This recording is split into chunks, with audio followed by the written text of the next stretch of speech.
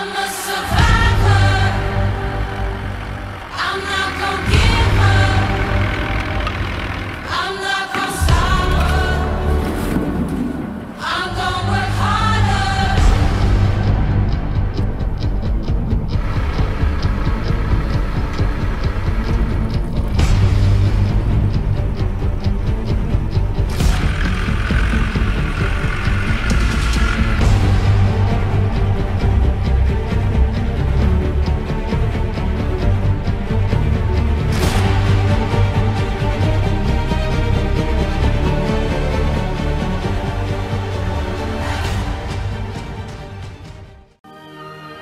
První sněženky neodvolatelně ohlásili odchod letošní dlouhé zimy.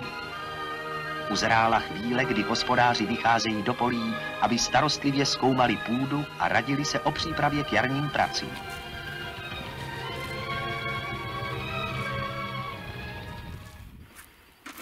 Únor bílý po lesích. Horská půda pod Beskydami byla od jak živa málo výnosná. Nikdy se prý tady nemůže urodit víc než 12 metráků obilí z hektaru. Trojanovičtí družstevníci se však rozhodli, že na to půjdou vědecky. Jak to chodí? Chodí to výborně, ale neseje to. To je u secího stroje dost podstatná závada, ne? Dolů jste se dívali? Ne, To byste se museli vohnout, co?